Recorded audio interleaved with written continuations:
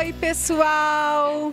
Eu estou aqui hoje mais uma vez com o Luiz Gustavo, que é personal coaching, que vai contar pra gente um pouquinho do projeto dele, que vai ser realizado agora no final do ano. Oi, Gustavo, tudo bem? Tudo bom, Karine, com você? Também, tudo jóia. Gustavo, então conta um pouquinho pra gente desse seu projeto.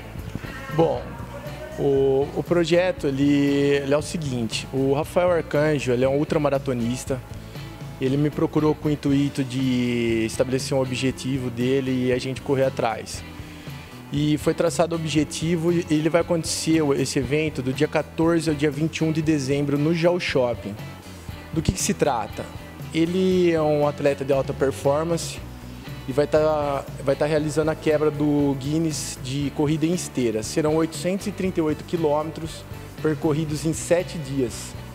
Ele vai estar tá correndo coisas de 14 horas por dia, confinado dentro de uma casa de vidro, construído lá no Geo Shopping. E durante esse período de 7 dias, ele vai ter que percorrer 834, 838 quilômetros, rodando 14 horas por dia, sem sair lá de dentro sem sair de lá dentro, vai e dormir. Como que ele vai fazer para dormir? Ele vai ter o cinco horas diárias para dormir, mais duas horas para fisioterapeuta e a alimentação dele vai ser realizada em cima da esteira. Portanto, ele vai correr e se alimentar dentro da, em cima da esteira. Gente, olha isso! E o mais legal, aqui na nossa cidade, né? E vai ter muita imprensa, né, também, né, Gustavo? Vai, vai. Graças a Deus a gente está com bastante empresas que visam qualidade de vida também, patrocinando. Todos os patrocinadores apoiando muito, a mídia também toda em cima, reconhecendo o esporte, reconhecendo a qualidade de vida que ele proporciona para as pessoas hoje, que normalmente todas elas estão sem algum objetivo claro. E o Rafael nitidamente tem um objetivo muito grande que é estar tá quebrando esse recorde. E você trabalhou com ele no coaching esse objetivo, né? Foi, eu sou coach é, tanto pessoal quanto esportivo dele. Também como sou estudante de educação física, cuido toda da parte de preparação de treino, alimentação, tudo que se engloba para estar tá realizando esse objetivo, até psicológico dele, a gente apontou e deixou tudo afinado para estar tá acontecendo a quebra do recorde, que vai exigir muito dele, tanto fisicamente quanto psicologicamente. Então conta um pouquinho mais para o pessoal, surgiu, surgiram dúvidas, né? Da, da... É, muitas pessoas me adicionaram no Face, também entraram em contato sobre a palestra também que vai ocorrer no dia 14 do 10 com o Robson Martins, lá no Ciesp, a partir das 7h30. As pessoas me perguntaram assim, o que exatamente é o coaching? Ficaram algumas dúvidas, então eu vim aqui hoje também para estar esclarecendo sobre isso. O coaching é um processo que vai estar tá tirando a pessoa do estado atual dela e levando a pessoa para o estado desejado. Seria uma concretização dos sonhos dela. Então a pessoa, vamos supor assim, é, eu quero emagrecer. Esses dias eu estava dentro do, do estabelecimento e entrou uma pessoa lá, bem vestida, bem aparência legal, vi que ela estava levando, consumindo bastante produtos que é destinado à saúde. E ela começou a conversar comigo falou: ah, você é coaching, não sei o que, eu queria emagrecer, eu pratico atividade física há sete anos. Eu falei assim, poxa, poxa, ela pratica atividade física, ela tem uma certa. Ela tem condições de estar tá se mantendo e, e mantendo uma alimentação boa e não consegue emagrecer e tem um personal, falei, alguma coisa está de errado. Falei assim, fala um pouco para mim sobre sua vida. E ela falou assim, que trabalha, o dia a dia dela. E eu falei assim, e academia, como que fica no, essa história? Ah, eu vou na academia, eu vou na academia, eu me sinto muito bem na academia. Eu adoro ir lá para eu adoro ir lá para conversar. Eu falei assim, poxa, uma pessoa está gastando dinheiro com alimentação, ela está gastando dinheiro com personal, ela está gastando o tempo da vida dela para ir na academia tem, achando que quer emagrecer. Na verdade, ela está indo lá para quê? Porque aquilo lá está proporcionando para ela um ambiente social do qual ela, que ela quer desfrutar. Então a meta e o objetivo dela de vida não está claro. Ela está gastando dinheiro fazendo coisas que ela não quer fazer.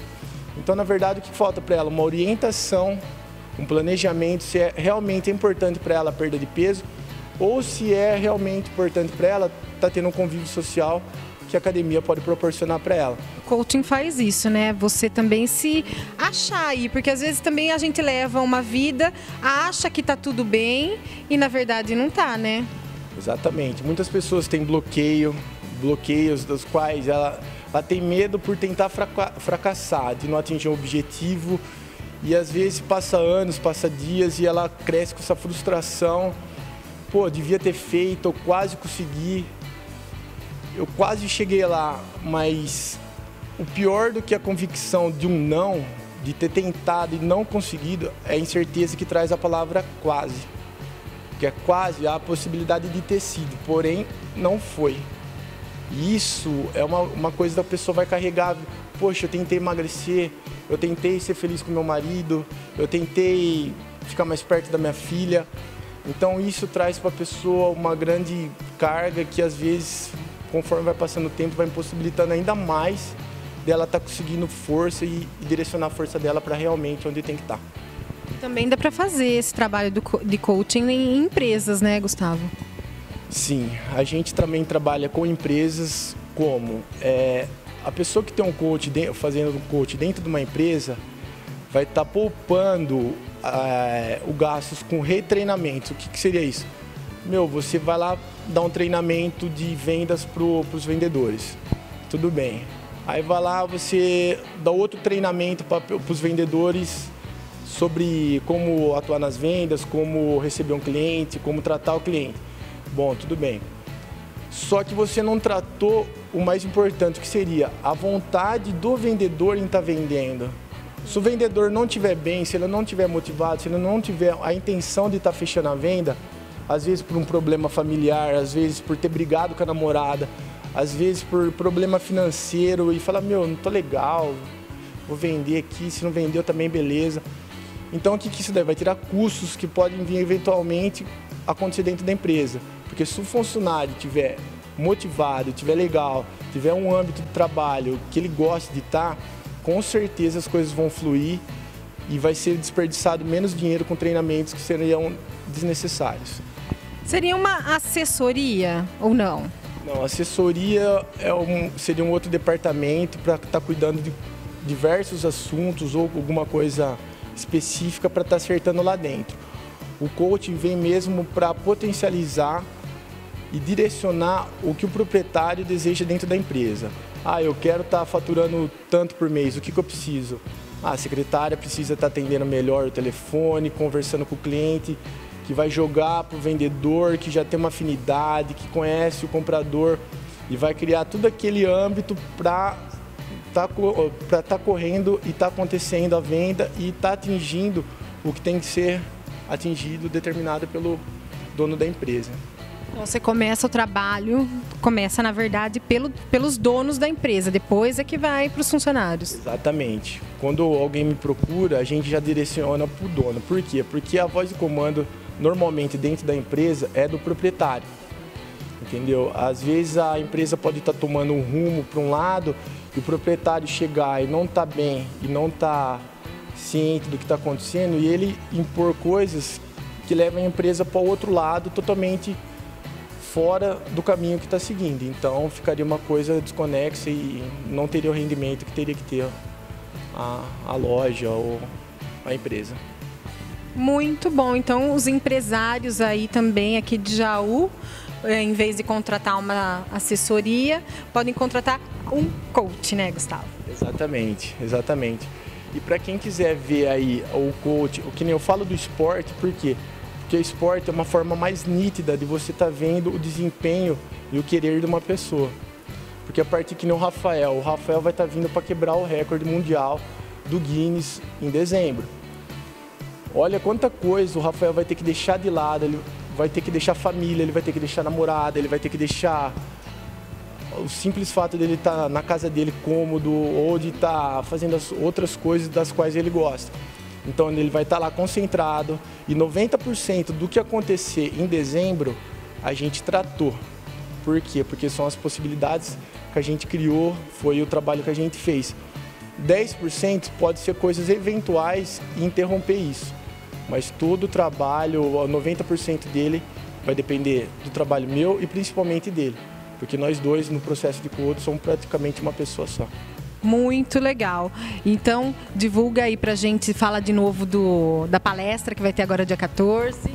Dia 14, 14 do 10, no Ciesp, vai estar tá vindo para Jaú Robson Martins, que hoje dentro do Brasil é um dos melhores palestrantes e coaches que tem dentro do Brasil. O cara é sensacional e tem um poder de, de modificador mesmo das pessoas estarem lá e às vezes escutar alguma coisa que pode estar mudando a vida delas. E se quiser acompanhar todo o desenvolvimento do projeto também, está aí meu site. Sobre mais do coach, qualquer dúvida, vai ter artigos também que eu vou estar escrevendo mensalmente. E só acompanhar, tá aí o site, vamos lá. Vamos lá mesmo, a Karina Andriotti vai estar na palestra. Então, venha você também, vamos lá, vamos melhorar, vamos em busca daquilo que faz a gente feliz. Gustavo, muito obrigada mais uma vez e daqui uns 20 dias você volta com o Rafael. Daqui esse final de semana ele está indo para a ultramaratona no Guarujá, 48 horas correndo sem dormir. E na, daqui duas semanas ele vai estar em Jaú e eu vou trazer ele no programa para a gente estar tá acompanhando todo o desenvolvimento, saber mais sobre o nosso trabalho. Muito legal. Obrigada mesmo e até daqui 20 dias, então. Obrigado eu, até mais. Beijo, pessoal.